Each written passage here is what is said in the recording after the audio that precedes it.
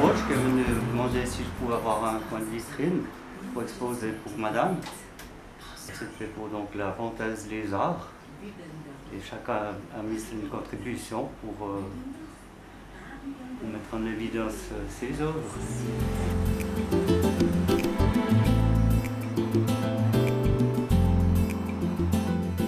Très joli, puis c'est fait par des, des artistes de Lausanne, je crois, ouais.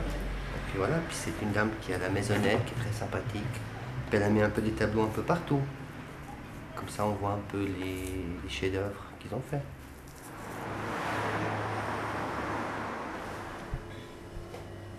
Je trouve c'est très bien pour la Pontaise, si nous pouvons faire plus que ça. La Pontaise, ce n'est pas un quartier de touristes, elle n'est pas le quartier de passage. Alors ça amène un peu de monde et ça fait très plaisir pour tout le monde. Ça travaille tous les commerçants. Bien sûr, surtout qu'il y a beaucoup, beaucoup d'artistes qu'on ne connaît pas et puis ça n'arrive pas à se montrer tout le temps, je pense. Et par, par les tableaux qu'on s'est posés là, il y a beaucoup de monde qui sont passés. hein. Regardez, on s'aperçoit quand même que les gens sont intéressés.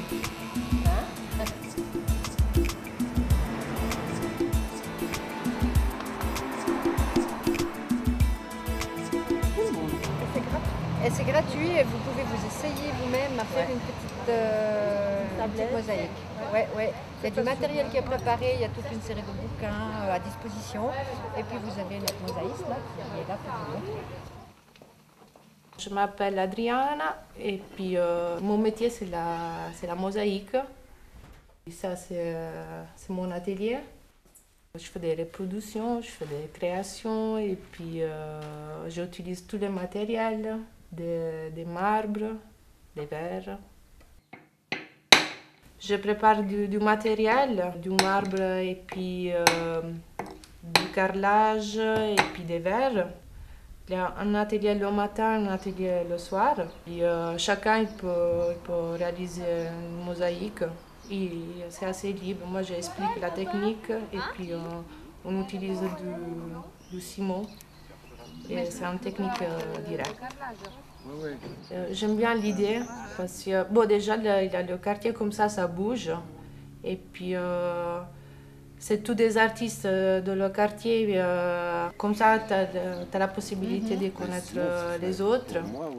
Moi, j'achète par exemple le pain tous les jours euh, chez la boulangerie. Et puis, l'endroit, il le change. C'est un petit peu, euh, ça devient un petit peu la galerie. Super, à tout à l'heure. Je m'appelle Chantal Crétol-Rouge et je suis animatrice, une des animatrices qui travaille à la Maisonnette au centre de rencontre et d'animation de la Pontaise. Moi, je suis une animatrice qui fonctionne sur ce quartier depuis pas mal d'années. J'y ai habité aussi de nombreuses années, donc je connais très bien les gens qui y habitent, les commerçants, les artisans. Et j'avais remarqué, déjà depuis un bon bout de temps, qu'il y avait beaucoup de talents sur ce quartier entre autres des artisans qui ont euh, euh, vitrine sur la rue. Et euh, à force de rencontrer des gens dans le cadre de mon métier de l'animation, j'ai aussi vu qu'il y avait des gens qui avaient des talents, des passions, et qui aimaient faire un certain nombre de choses, mais qui les gardaient un peu pour eux, qui n'osaient pas montrer ce qu'ils faisaient. Donc je me suis dit, mais au bout de quelques années, pourquoi est-ce qu'on ne mettrait pas ces gens en lien, on ne montrerait pas ce qu'ils savent faire, euh, qu'ils puissent parler d'eux-mêmes, de leurs compétences, de ce qu'ils connaissent et faire partager avec les autres. Et donc euh, ça fait déjà quelques années que j'y songe. Et puis bah, ça s'est concrétisé, ça fait une année qu'on travaille sur le projet. Et puis euh, l'équipe d'animation et son comité s'est mis en route avec le soutien de la FASEL pour mettre ça sur pied.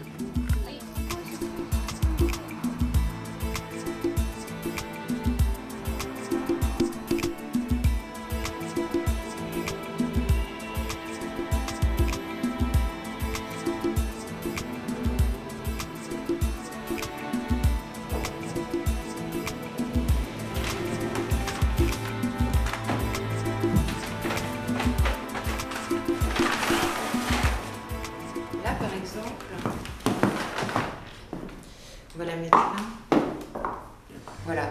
Et moi, je l'ai appelée, euh, je l'ai appelée Vénus. Donc, en fait, ce sont des empreintes de textiles ou euh, plastique vêtements, enfin tout ce qui peut passer en gros dans une presse.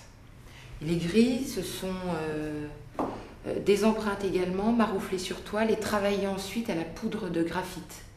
Et puis vous vous sentez comment au quartier? Très bien, parce que c'est justement un, vrai quartier où on croise euh, les gens, il y a beaucoup de communication. Alors je ne sais pas si c'est suisse ou si c'est lausannois ou pontésien. Monsieur euh, Perret n'a pas la chance d'avoir un atelier visible euh, de l'extérieur. Moi, je connaissais son, travail. Enfin, entre voisins, on s'était montré euh, Et je connaissais ses talents d'aquarelliste, enfin de dessinateur et de peintre, parce qu'il fait des choses incroyables. Et donc, c'était assez, enfin, assez évident de lui proposer un, voilà, un petit morceau de, vitrine. Parce que moi, j'ai mes mes gravures quand même à côté, mais, euh, mais ça me semblait euh, voilà, tout à fait normal. Alors c'est ici que je m'installe pour faire la peinture, de l'aquarelle en particulier. Quelquefois de l'huile, mais plus rarement. Et euh, voilà, mon matériel, mon siège. C'est l'année passée, j'ai fait. J'en ai pris trois, 2006. Pour moi, c'est très important pour euh, l'équilibre. Et j'ai toujours eu euh, la passion de, de connaître, d'exercer, d'apprendre, de, de, toucher. C'était le plus important. Sur le, le cuir, par exemple, j'ai, on a fait donc, la maroquinerie, la sellerie.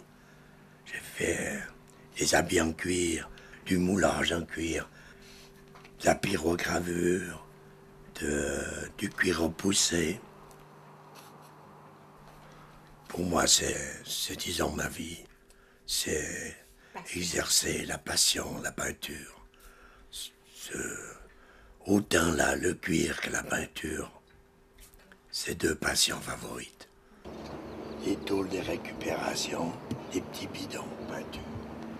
Ce wagon, c'est la première pièce que j'ai fabriquée. C'est ce wagon.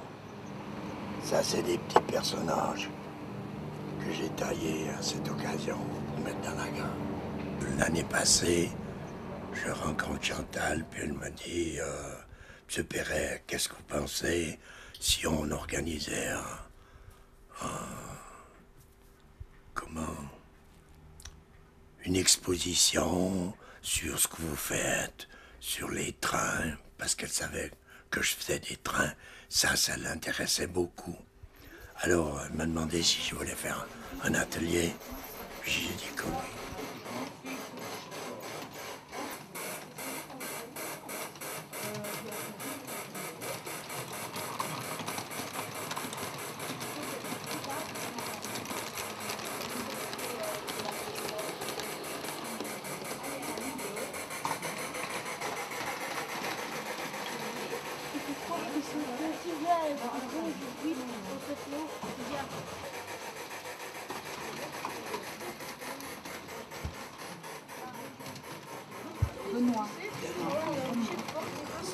Non, parce que c'est son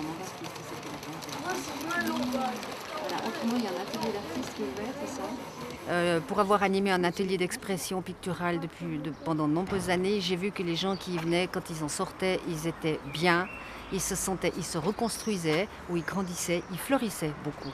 Hein. Euh, donc je pense que ça a une grande importance dans nos sociétés pour faire aussi un peu balance avec la télévision, euh, les médias, donc rester en vie, euh, continuer de s'exprimer soi-même. oui, oui, alors c'est primordial.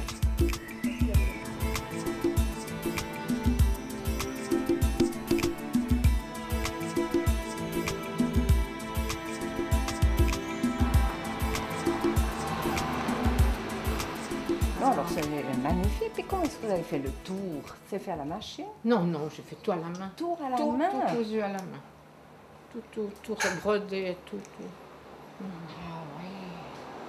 C'est un travail formidable. Oui. Ah, mais vous les avez collés Non, ah oui, j'ai collé parce que ça bouge tout le temps.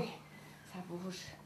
Et puis avec le citron, là, qu'est-ce que vous allez... Ben alors le citron, si vous avez un citron sec, Vous pouvez faire quelque chose. Vous trouvez quoi?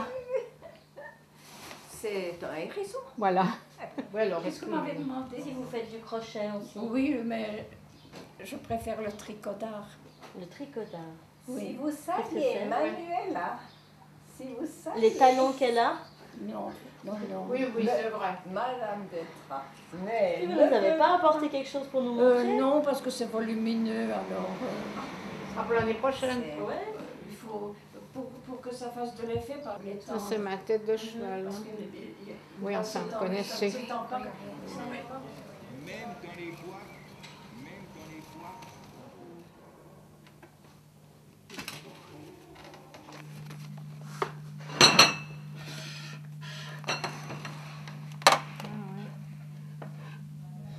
On appuie, puis après on levait le, on appuyait, puis après on levait le pinceau. Ça fait il y a 20 ans que vous en avez fait. Non, ça fait plus, j'ose plus dire.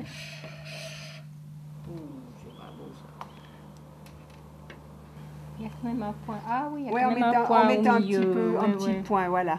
Ouais, ben c'était ça qu'on faisait. Alors c'est vrai que la Pontaise est un, quartier qui est habité par des gens qui, restent là pendant quand même pas mal d'années et euh, qui se connaissent. Espèce de, en- enfin, je ne sais pas si on peut encore dire village dans la ville, ça commence à changer, mais il y a beaucoup de gens qui se connaissent. Il y a pas mal de bistrots, il y a pas mal de terrasses et euh, les gens se connaissent, oui, certainement, et donc parlent pas mal entre eux.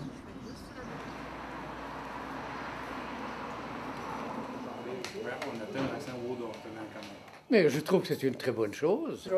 Alors, pour une fois qu'il y, a des- il y a des talents cachés que l'on réveille, c'est excellent.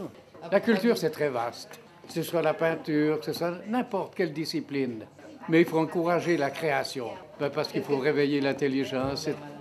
C'est très excellent pour l'équilibre des individus. On ne se rend compte jamais à quel point c'est important.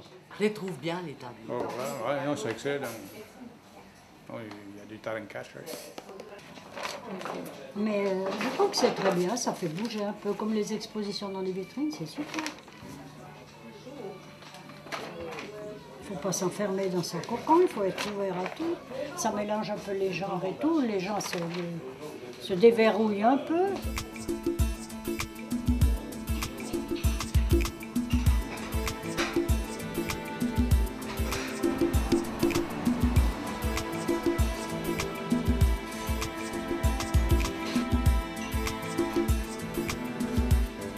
Fantaise Lézard en fait nous a, nous contactés et donc j'ai accepté de recevoir différentes œuvres des artistes du quartier.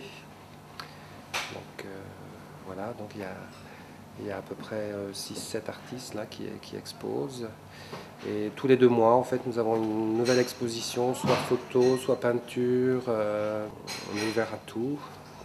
Puis voilà, on se réjouit d'avoir, euh, euh, de découvrir euh, des, nouveaux, artistes qui sont peut-être un peu méconnus, qui n'ont pas la possibilité d'exposer dans des vraies galeries. Et euh, là, c'est- une opportunité.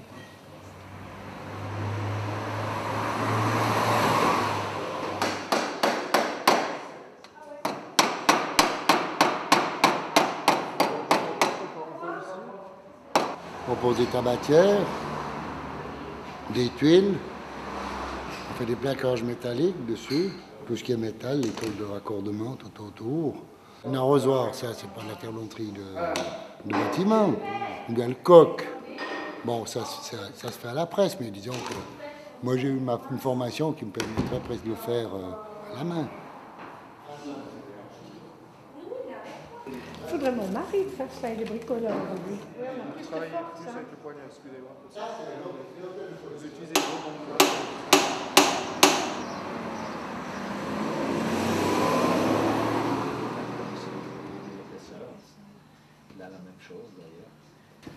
Alors là, on a refait un dos en cuir avec euh, des, euh, une toile naturelle, ce qu'on appelle toile écrue, toile naturelle sur les, sur les plats. Ici, vous avez un vieux massicot, donc euh, la lame qui descend, version guillotine. Mais on met généralement pas des têtes. L'appareil qui permet de faire des titres. Vous composez votre mot, vous serrez, vous le mettez à sa place Et puis après, on mettra la couverture qu'il faudra titrer ici. Et puis avec la conjugaison de la pression et de la chaleur, vous allez faire déposer la matière, la matière d'oreille ou autre, sur la ce qui vous donne ce, style-là.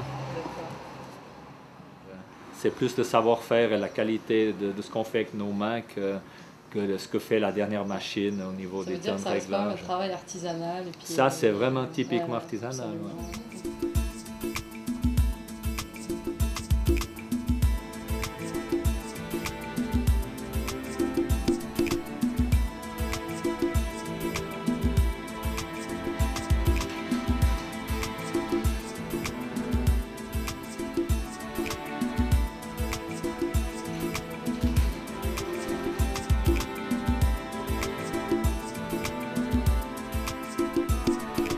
Un des buts, évidemment, c'est de créer des liens entre les gens. Il y en a déjà pas mal, mais ça sera un petit supplément qui serait bienvenu, probablement. C'est euh, quelque chose qu'on espère effectivement qui fasse que les gens se rencontrent, se causent davantage et parlent peut-être d'autres choses que euh, de la politique ou du stade, ou... mais peut-être aussi de leur vie, de ce qu'ils aiment, de ce qu'ils font hein, entre eux. Ça a déjà créé des nouveaux contacts. Déjà, j'ai pu l'observer. Et euh, par la suite, on aimerait bien que ça fasse des émules. Peut-être que les gens qui ont apprécié cette activité auront envie de la reproduire l'année prochaine ou faire autre chose ou autrement.